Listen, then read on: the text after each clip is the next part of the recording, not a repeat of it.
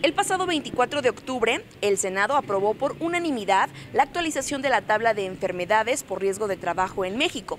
Y si no sabes de cuáles son o de qué se trata, acompáñame a ver la siguiente información.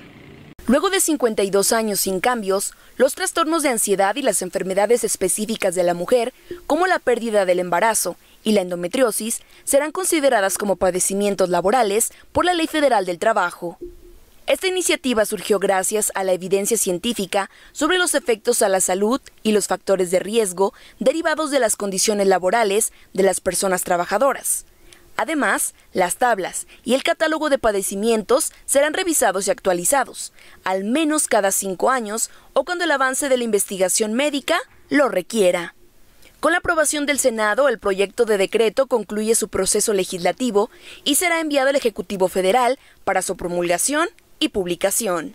La actualización de la tabla incorporó 88 nuevas enfermedades laborales, esto avalado por expertos de salud laboral y especialistas del IMSS.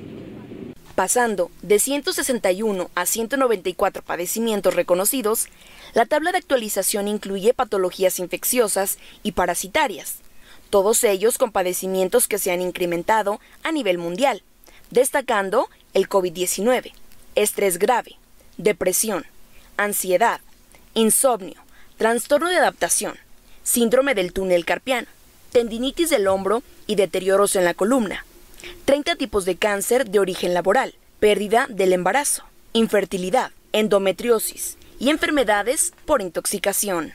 Esta tabla publicada el pasado 4 de diciembre, la cual entra en vigor al día siguiente de estar, ahora sí, en el diario oficial de la Federación.